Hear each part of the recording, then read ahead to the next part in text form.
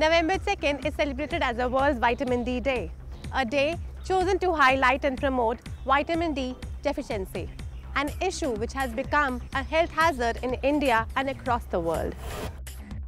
Vitamin D has several important functions, one of the most important being the absorption of calcium and phosphorus and helping our immune system function smoothly. A sufficient amount of this vitamin is essential for normal growth and development of bones and teeth.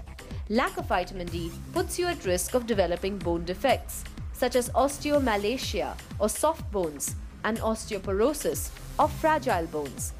Besides this, it is also believed to play a key role in preventing autoimmune diseases like multiple sclerosis and type 1 diabetes, preventing breast and colon cancers, and helping the heart stay healthy even.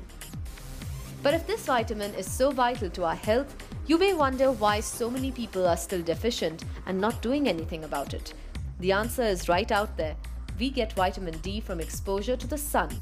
Our skin creates it using something called ultraviolet B that's present in the rays of the sun. With more and more of the world's population opting for an indoor lifestyle and avoiding the sun as much as possible, our bodies have limited options to source this key vitamin increasing pollution levels, more sunscreen usage, working long hours in offices, urban living where exposure to the sun is limited are just some of the reasons contributing to this inadequacy. Clearly, vitamin D is an essential nutrient for everyone, and there are three ways you can obtain it.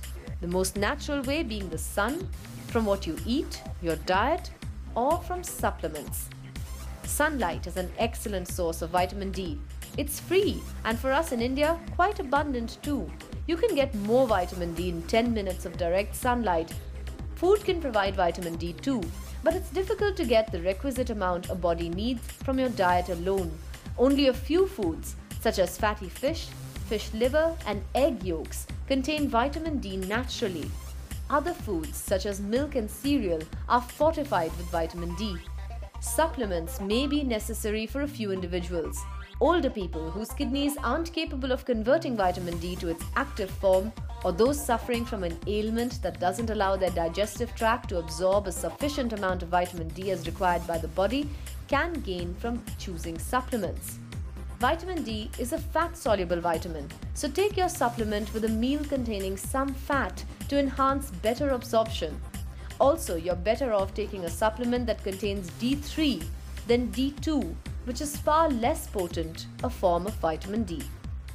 Vitamin D is really good for us, but the key is having it in moderation.